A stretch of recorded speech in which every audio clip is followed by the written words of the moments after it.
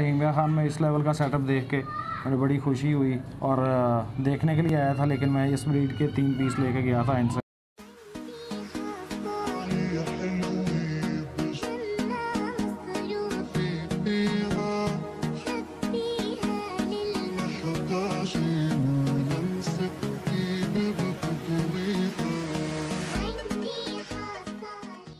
बिसमीम वालेकुम। मेरा नाम है ज़फ़र अली और आप देख रहे हैं मेरा YouTube channel quality chicks and hens इस वक्त मैं मौजूद हूँ काशिफ इसरार भाई के सेटअप पे जो कि फैंसी रैबिट्स के हवाले से है। तो अभी हम इनसे तफसीली गुफ्तु करते हैं रैबिट्स के हवाले से ताकि जितने भी शौकीन दोस्त हैं जो ये काम करना चाहते हैं उन्हें मुफीद मालूम मिल सके। अस्सलाम वालेकुम। वालेकुम काशिफ भाई क्या हाल है आपका? ठीक है? हाँ जी अल्लाह का शुक्र फैंसी रैबिट्स का शौक़ आपको किस तरह से हुआ? शौक़ तो बचपन ही से था लेकिन चूँकि शहर में रहते हुए हम यही समझते थे कि रैबिट्स जो है ना हमेशा मिट्टी में रहते हैं। सुराख बनाकर उनका रखना बहुत मुश्किल है। या उनको शहर में अगर रखना है तो उनके लिए पाइप्स लगाएँ और इंतज़ाम करें। तो वो नामुमकिन सा था। तो इसलिए मैंने नहीं रख सका। अब ज़रा यूट्यूब पे वीडियो वीडियोज़ देखी और सर्च किया तो अंदाज़ा हुआ कि केजेस में भी रैबिट्स रखे जा सकते तो फिर मैंने फैंसी रैबिट से स्टार्ट किया। इस वक्त आपके पास फैंसी रैबिट्स की कौन कौन सी नस्ल मौजूद है? इस वक्त मेरे पास तकरीबन पाँच किस्म के नस्लें मौजूद हैं। उसमें जाइंट अंगूरा है लाइन हेड अंगूरा है इंग्लिश अंगूरा है फुजी लूप है और हॉट हॉट जॉइंट मेरे पास मौजूद है। ठीक है। नाजरीन हम आपको दिखाते हैं कि काशिफ भाई ने किस तरह से केजेस में अपने रैबिट्स रखे हुए हैं किस तरह से ब्रीड हासिल कर रहे हैं और सेटअप जो है इन्होंने किस तरह से डिवेल्प किया है। वीडियो जो है डिटेल्ड होगी इन ताला हर किस्म की मालूम जो है शेयर की जाएगी। वीडियो थोड़ी लेंथी हो जाएगी, लेकिन अगर आप मुकम्मल देखेंगे तो इन आपको बहुत ज़्यादा फ़ायदा होगा। काशिफ भाई काइंडली हमें इन केजेस के हवाले से बताइएगा कि ये केजेस आपने कहाँ से बनाए हैं और इनके जो व्हील वगैरह लगे हुए हैं, इसका क्या मकसद है? असल में रैबिट्स में ये बड़ा मसला होता है कि हम जो है ना केजेस में रखते हैं इनको। वहीं पर मिट्टी के अलावा अगर रखना हो, पेशाब वगैरह और जो वेस्ट करते हैं तो वो फिर उनके पाँव को लगता है, उससे उनको बीमारियाँ पैदा होती हैं। तो ये केजेस का डिज़ाइन इसी सूरत में होता है कि उनका वेस्ट वगैरह नीचे गिरता रहे रैबिट फ्रेश रहे। अमूमन केजेस में नीचे जाली लगाई जाती है तो उसके नीचे पाइप्स वगैरह लगाए जाते हैं। लेकिन मैंने ये नए डिज़ाइन से बनाया है, इसमें नीचे मैंने लोहे की पतरी लगवाई है, ताकि रैबिट जो है ना इजीली अपनी सपोर्ट दे सके ज़मीन पर। और फ्रेश रहे। जाली में ज़रा उनके पाँव भी ज़ख्मी हो जाते हैं। तो इसलिए मैंने ये इस तरह थोड़ा सा महँगा बना है, लेकिन ये है कि रैबिट्स के लिए बहुत ईजी है। इस अंदाज से बनाया। और व्हील इसलिए लगाए हैं कि इनको साफ़ करना आसान हो, आगे पीछे करना आसान हो। उनको गर्मी धूप की ज़रूरत हो तो उनको बाहर ले जाएँ। अगर धूप से छाँव में करना हो तो छाँव में कर लें ईज़िली ये आगे पीछे कर सकें। काशिफ भाई ये 14 केज के जो पोर्शन हैं आपके बने हुए हैं। तो ये एक पोर्शन जो है इसकी तकरीबन कितनी डायमेंशन है? इसकी तकरीबन ढाई हज़ार रुपये दो की है। और इसकी हाइट कितनी है? हाइट इसकी तकरीबन है डेढ़ फुट। तो इसमें आपने किसी में जो है एक एक छोड़ा हुआ है और किसी में आपने तीन किसी में पाँच। जी जी। तो इसकी क्या वजह है? इसमें यह है कि फ़ीमेल्स अलग रखी हुई हैं बड़ी ब्रीडर फीमेल अलग रखी हुई हैं। बच्चों में भी जो है मैंने इस तरह किया है कि अभी डेढ़ माह के बाद मैंने इनकी फ़ीमेल्स अलग कर दी हैं और मेल्स अलग कर दी हैं। ये जो चार खाने हैं, ये सारे मेल्स हैं। तो ये बाकी जो खाने हैं, ये सारी फ़ीमेल्स मैंने अलग कर ली हैं शुरू में मुझसे गलती हुई थी, मैंने इनको इकट्ठा रखा था। उससे थोड़ा सा ना इनके लिए प्रॉब्लम्स बनती हैं। ये, अब मैंने इनको अलग कर दिया है जब ये ब्रीडर होंगे तो फिर हर फीमेल को अलग अलग केज देना पड़ेगा। काशिफ भाई हमें ये बताइएगा कि एक टाइम में एक फ़ीमेल जो कि फैंसी रैबिट्स की है वो कितने बच्चे दे लेती है? एक टाइम में एक फ़ीमेल जो है तीन से लेकर दस तक ग्यारह बारह तक भी बच्चे दे देती है। तो हमें कहने ये भी बताइएगा कि कोई नए दोस्त जो हैं काम स्टार्ट करते हैं तो जिस तरह से बाकी जानवरों में कम्प्लेक्सिटी होती है पेचीदगियाँ होती हैं क्या इनमें भी इस तरह के मसले मसाइल होते हैं? इनकी अगर फ़ीड का ख्याल रखा जाए इनकी डिवर्मिंग इनकी उम्र के मुताबिक की जाए इनको इनकी एलर्जी का प्रॉपर जैसी एलर्जी हो इनको साथ साथ ट्रीटमेंट दी जाए। बहुत ज़्यादा पेचीदगियाँ इसमें नहीं होती।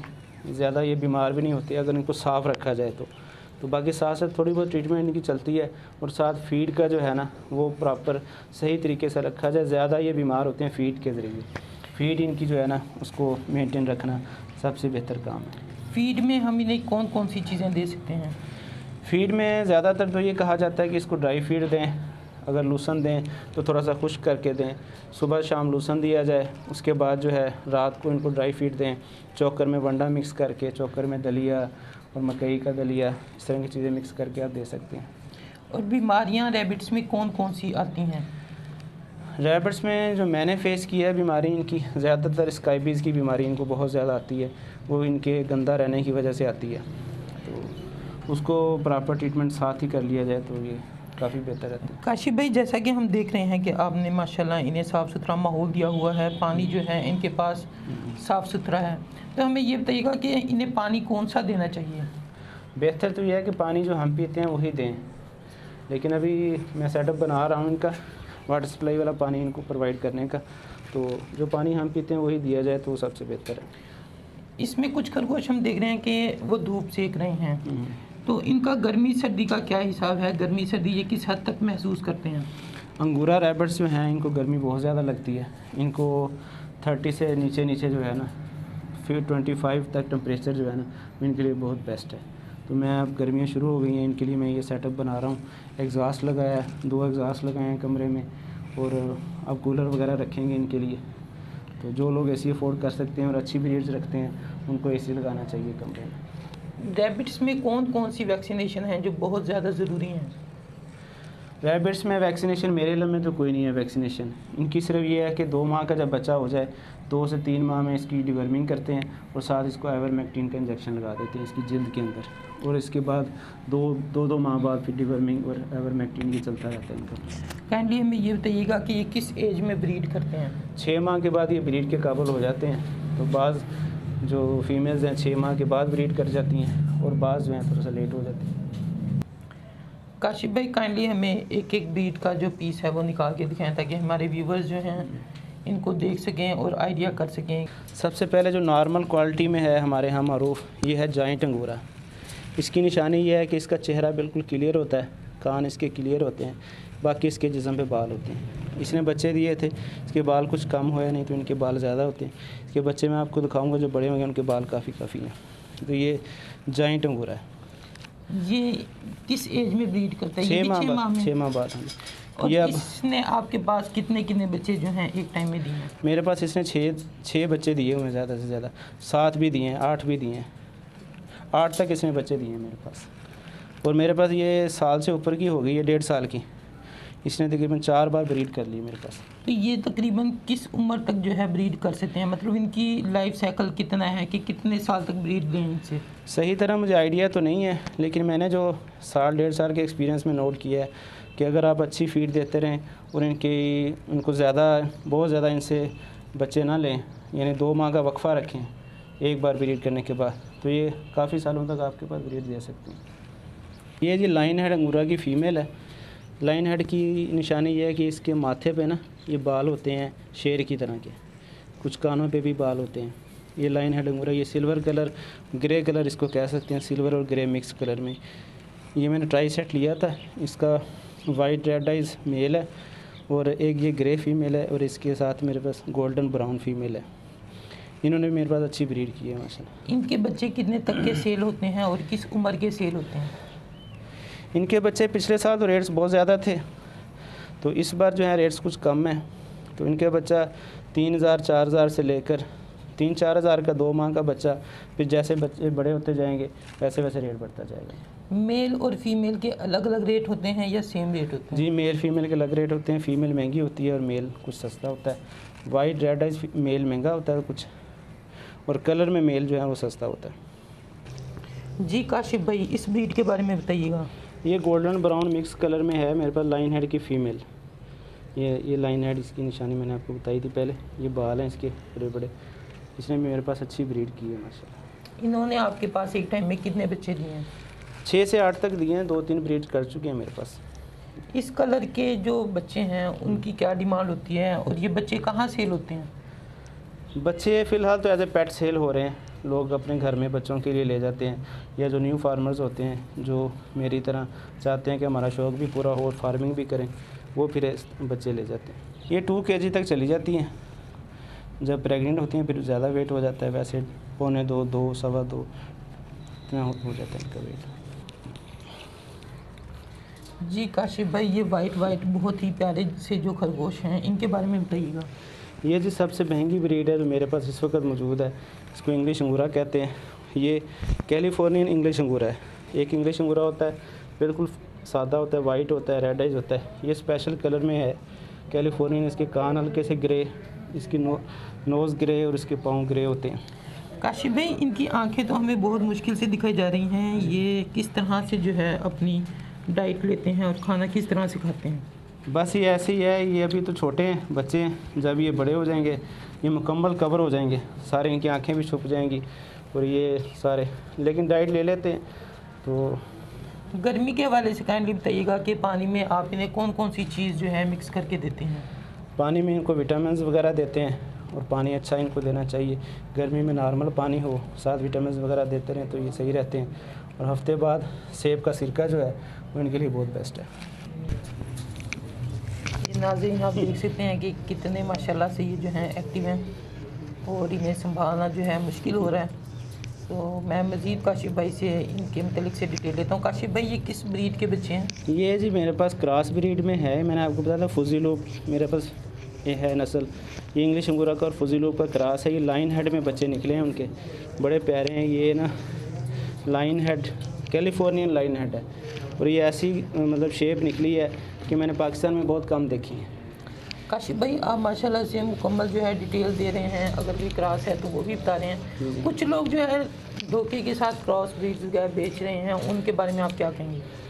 सर देखिए कारोबार में तो सुनना तरीका यही है ना आप हर चीज़ बता दें। किसी ने लेना है नहीं लेना आप अपना रेट मांगें और हर चीज़ उसको बता दें। तो इसी में फ़ायदा दुनिया का भी आखरत का।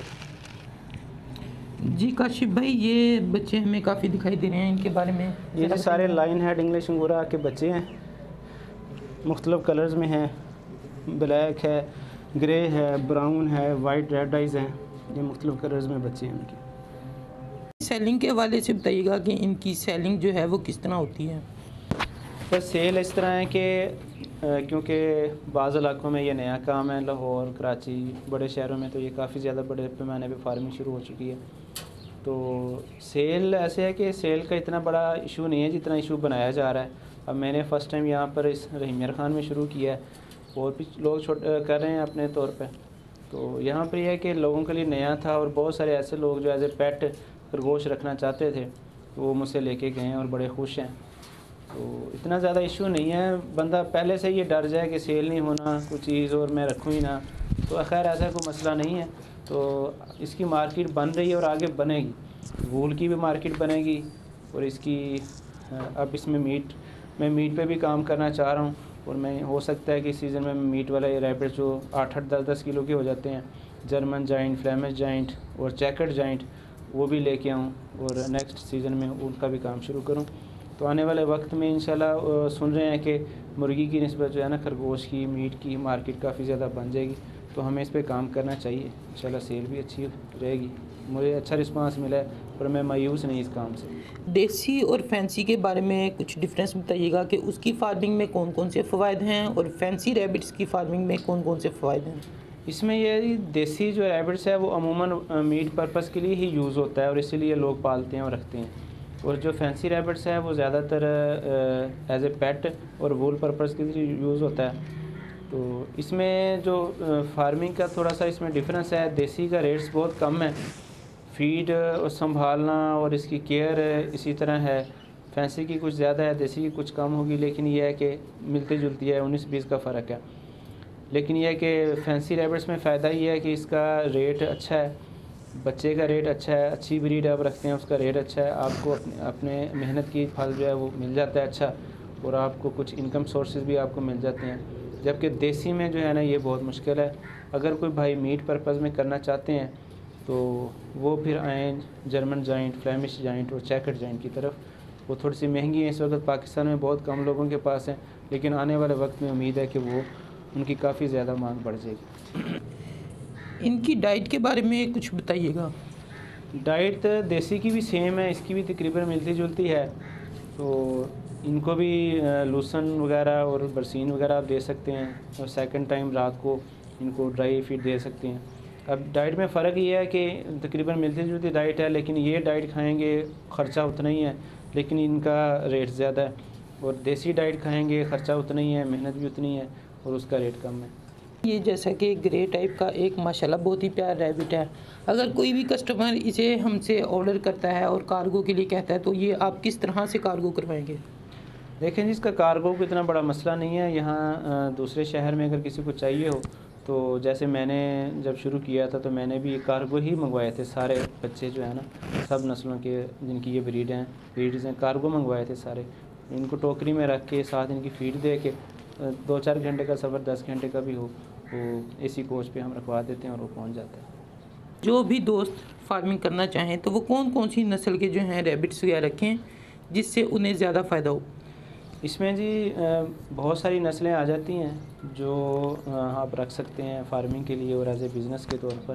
तो इसमें हमें, अगर हम प्रोफेशनल तौर पर काम करना चाहें एज ए बिज़नेस काम करना चाहें तो हम जो मार्केट में ज़्यादा नस्लें चल रही हैं, जो लोग इनको पसंद करते हैं, क्योंकि एज ए ये एज ए पेट यूज़ होता है, या as a meat purpose use होता है।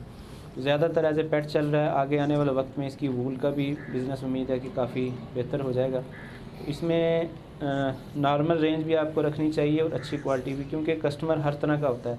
बहुत सारे लोग हैं, वो आपको बहुत ज़्यादा रेट नहीं दे सकते। उनके लिए नॉर्मल रेंज में आप खूबसूरत पेट रखें और जो रेट दे सकते हैं, उनके लिए अच्छी क्वालिटी रखें।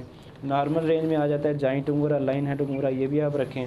उसके बाद अच्छी रेंज में आ जाता है इंग्लिश अंगूरा, ये भी आप रखें। उसके बाद लूप में आ जाते हैं, जिनके कान लटके होते हैं, ये बहुत प्यारे होते हैं, ये भी आप रखें। तो यानी आपकी इन्वेस्टमेंट पे है कि आप कितनी कर सकते हैं आप उस इन्वेस्टमेंट के हिसाब से आप रखें। और मेरी यही राय है कि आप जो भी रखें अच्छी ब्रीड रखें ताकि उसके बच्चे अच्छे हों खूबसूरत हों और आगे उनकी मार्केट अच्छी बने। सेलिंग के हवाले से हमें बताइएगा कि कुछ दोस्त जो हैं सेलिंग के हवाले से परेशान रहते हैं कि ये सेल किस जगह होंगे। तो इस बारे में ज़रा हमें गाइड कीजिएगा। सेलिंग के हवाले से जो है ना मेरा यही मशरा है कि हमारा शहर जैसे नया है यहाँ पर अब मैंने शुरू किया है तो बहुत सारे लोग बड़े हैरान होते हैं यार इस तरह हमने एक जगह पे इस तरह के खरगोश नहीं देखे।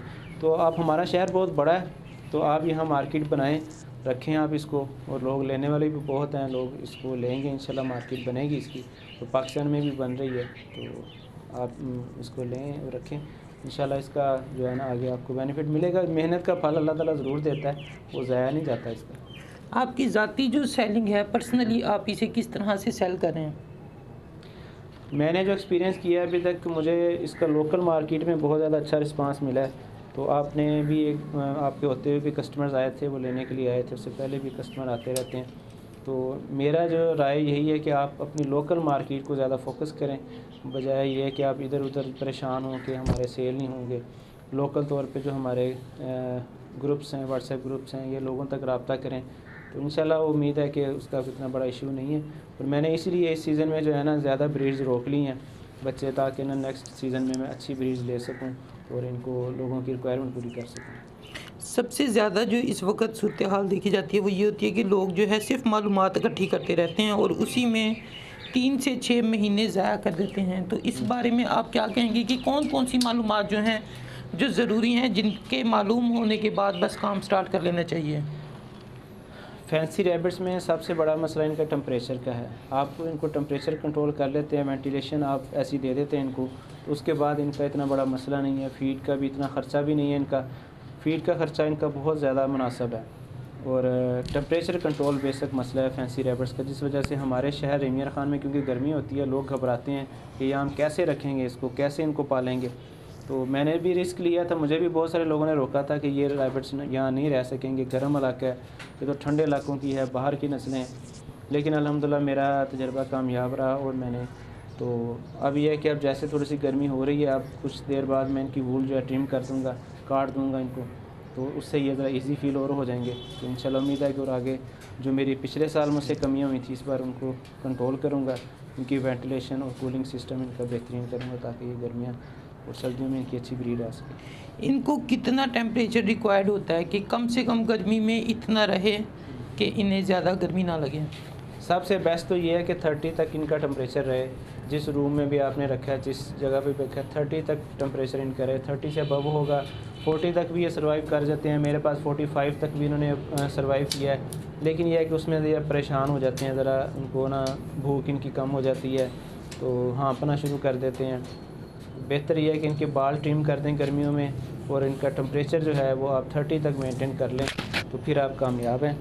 तो बाकी थोड़ा सा अभाव हो भी जाए तो इतना कोई मसला नहीं है। सबसे बड़ा यह है कि आप इनको जो है ना वेंटिलेशन का सिस्टम रहे, या तो एसी में रखें इनको, या अगर एसी में नहीं रख सकते, फिर ऐसा का, ऐसे कमरे में रखें, ऐसी जगह पर जहाँ हवा का गुज़र बहुत ज़्यादा हो, यानी एक तरफ़ से आ रही हो, एक तरफ़ से जा रही हो एग्जास्ट वगैरह लगा हो, वहाँ पर ये ईजी सब में आपका पसंदीदा रैबिट कौन सा है? वैसे तो सारे मुझे पसंद हैं जी, मेरे पास ही आए हैं। लेकिन ये मेरे पास एक क्रॉस में, इंग्लिश अंगूरा की क्रॉस में ना, एक मेरे पास ये पीस निकला है। तो ये माशाल्लाह मुझे बहुत पसंद है ज़ाती तौर पे। और ये यूँ समझे नॉट फॉर सेल ही है। इसकी ब्रीड लेंगे आगे, अगले सीज़न में। और ये जो है ना, ये इस तरह मुझे इसलिए भी पसंद है कि एक बड़ा प्यारी नस्ल होती है जिसको हॉट आउट कहते हैं। उसकी आँखें जो हैं वो काली होती हैं। ये अब हॉट आउट और इंग्लिश अंगूरा का क्रॉस है। इंग्लिश अंगूरा के बाल होते हैं और हॉट आउट की आँखें काली होती हैं। तो ये आँखों के गिर्द जैसे दायरा लगा होता है और ये इसके कान भी काले हैं, बल्कि सिमिट्री असल चीज़ ये सिमिट्री होती है, कान काले और आँखें, ये इनके पाँव, ये सारे इस तरह बड़ी प्यारी चीज़ इसमें, ये है, खूबसूरत। वालेकुम, इस वक्त मेरे साथ मौजूद हैं वजाहत भाई, जिनके बारे में तकरीबन पूरा शहर ही जानता है और जितने भी शौकीन नजात हैं वो भी जानते हैं कि ये किसी किस्म के तारुफ के मोहताज नहीं है। अपना इनका एक मिनी ज़ू बना हुआ है रहीमर खान में, उस पर भी इनशाला जल्द जो है इंटरव्यू आने वाला है। तो काशिफ भाई के पास वजाहत भाई, आप लास्ट टाइम भी आए थे और इनका जो शौक़ है वो भी आपने देखा तो मुझे बताइएगा ज़रा कि आपके क्या ख्याल हैं? जी, मैं माशाल्लाह बड़ा पसंद आया था रहीमिया ख़ान में इस लेवल का सेटअप देख के। मुझे बड़ी खुशी हुई और देखने के लिए आया था, लेकिन मैं इस ब्रीड के तीन पीस लेके गया था इनसे और बड़ा खूबसूरत है। अब काशिफ भाई के साथ मिलके मेरी कोशिश है कि किसी तरह से पाकिस्तान में ये इसकी वूल का बिज़नेस जो है वो डेवलप किया जाए, क्योंकि फ़ार्मिंग बहुत ज़्यादा हो रही है, लोगों को इसका इस्तेमाल का पता ही नहीं है कि करना क्या है। बाकी पूरी दुनिया में इसीलिए इसकी फ़ार्मिंग होती है कि इसकी वूल सेल हो। लेकिन पाकिस्तान में अभी तक अनफॉर्चुनेटली अभी तक कोई इस तरह का है नहीं प्लेटफॉर्म जहाँ पर आप सेल कर सकें। तो इस तरह से है। बाकी एज अ पेट और हॉबी के तौर पे बड़ा खूबसूरत जानवर है ये रखना। भाई आज आप फिर अपने बाजे भतीजों को लेके आए तो आज आपका क्या इरादा है? आज फिर से परचेजिंग करने आए हैं काशी भाई से।